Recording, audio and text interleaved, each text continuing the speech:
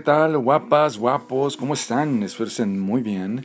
Eh, si les gusta lo que están viendo aquí ahorita en este momento en su pantalla, los invito a que se queden a ver el video completo, por favor, porque aquí les tengo dos recetas sabrosas para hacer esta delicia. Va a ser el puré de papa de lujo que ya les había comentado anteriormente y también les voy a hacer los espárragos aquí deliciosos.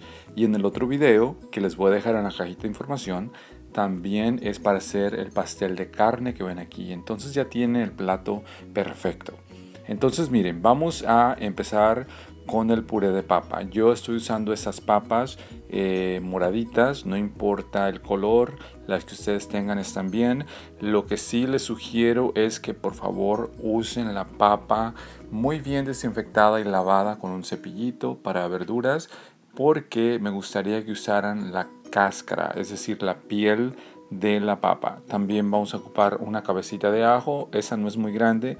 Yo no la necesité toda la verdad. Si ustedes gustan partirla por mitad y echarlas ahí al agua, está bien. Si quieren usar los dientes de ajo nada más está muy bien. También vamos a usar crema agria y también voy a usar la mitad de queso crema para estas papas.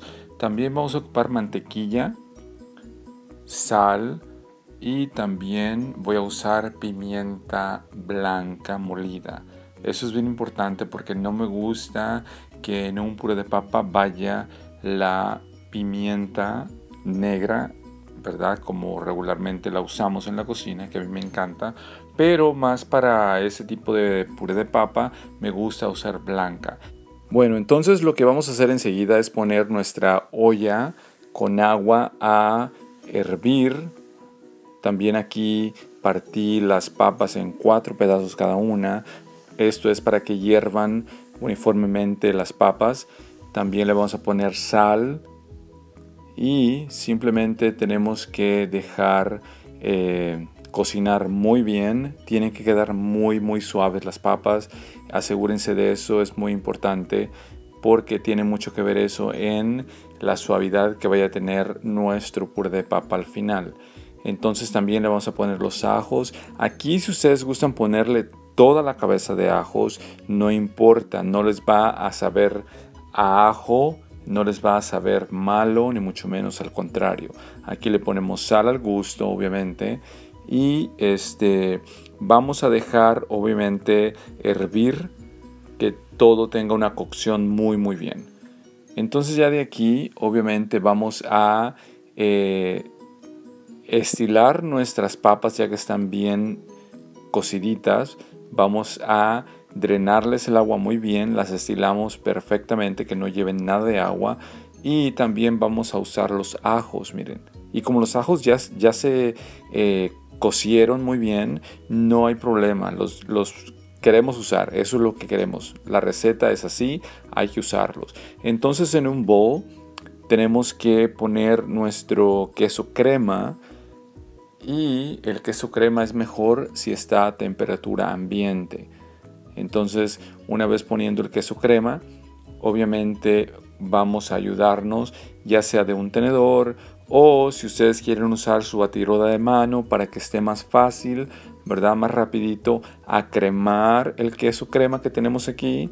Yo lo hice con un tenedor, la verdad, y no estaba tan eh, a temperatura ambiente todavía, pero eh, como la papa está muy caliente, me ayudó a que rápido se pusiera suave el queso crema, así que no hubo mucho problema.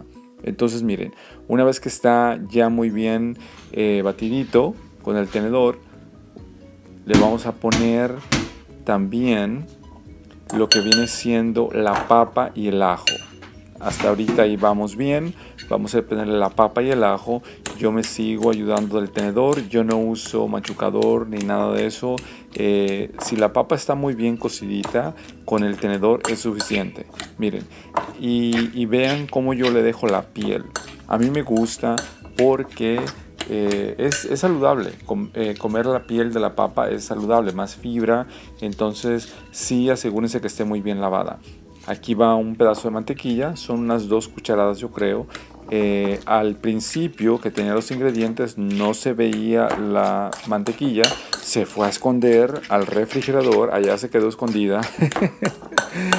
y aquí pues ya se le ocurrió salir. Bueno, miren, también aquí este, seguimos batiendo, asegurándonos que la mantequilla se derrita muy bien. Y pues va a quedar riquísimo, la verdad. Este es el puré de papa que yo siempre les estaba mencionando antes, que para mí es el mejor que yo he comido de todos los que he comido. ¿eh? La verdad que está súper rico, ya se me hizo agua la boca otra vez. Así que imagínense, cuando yo hago esto, regularmente hago un poquito extra. ¿Por qué? Porque me gusta hacer taquitos de papa, pero usando este puré de papa que están viendo aquí. Queda la verdad mejor todavía, más sabroso los tacos. También le vamos a poner la crema. Aquí yo me di una taza de crema pero en realidad para estas papitas, que son cinco nada más, eh, le puse la mitad de taza de crema agria. Porque tampoco queremos ponerle de más si no la necesita, ¿verdad? Entonces ustedes van a ir viendo su consistencia. Si ustedes quieren ponerle más crema agria, pónganle más. Si hacen más papas, obviamente le tienen que poner el queso crema entero. Eso sí se los recomiendo. Para yo, las papas que hice, pues le puse nada más la mitad de queso crema. Aquí le vamos a poner como una cucharadita pequeña de pimienta molida. Eso es bien importante que le pongan la pimienta molida para que les dé un sabor muy exquisito, muy delicioso. Y créanme que sí hace la gran diferencia. Entonces hay que ponerle la pimienta blanca para que noten la diferencia de lo que les estoy diciendo. Queda verdaderamente súper sabroso. Lo pueden acompañar con tantas cosas.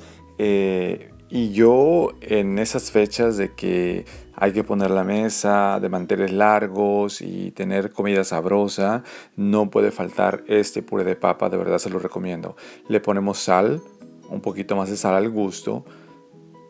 Esto es cuestión de ustedes, si les gusta pues más saladito le ponen más, si no les gusta tanto la sal no le pongan, porque el queso crema ya ve que tiene un, tiene un poquito de sal, la crema también tiene un poquito de sal. Entonces cuiden mucho ese dato, ¿verdad? De que si no les gusta tanto la sal, no le pongan sal, pruébenlo mejor y de ahí se dan cuenta si le falta o no.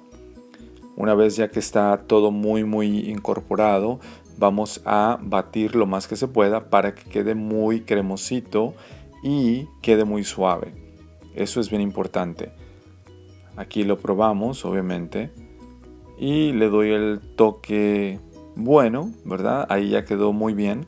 Entonces yo continúo con los espárragos, miren. Ya dejamos el, puré a un lado, ya quedó perfecto. Aquí voy a agregar un poquito de aceite de oliva en la cazuela a flama alta. Estos me gusta hacerlos a temperatura, a una flama muy alta, porque quiero que estén muy rápido. Esos yo no los cocino más de 5 minutos, ¿eh? Hasta menos.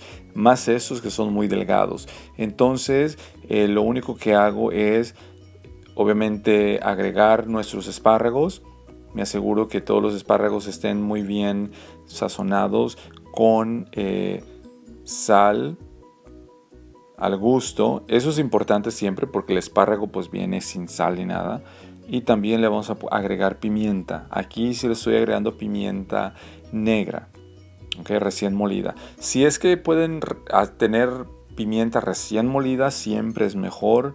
Me gusta usar pimienta recién molida, yo molerla. No me gusta comprar pimienta de la que ya viene. Esa la verdad se me hace que no sirve, honestamente y cada quien usamos lo que nos gusta, ¿verdad? Si ustedes usan de esa, no hay problema, es sus gustos y yo los respeto, pero a mí me gusta la pimienta recién molida. Siento que está más sabrosa, tiene más sabor, está como más fresca, ¿verdad?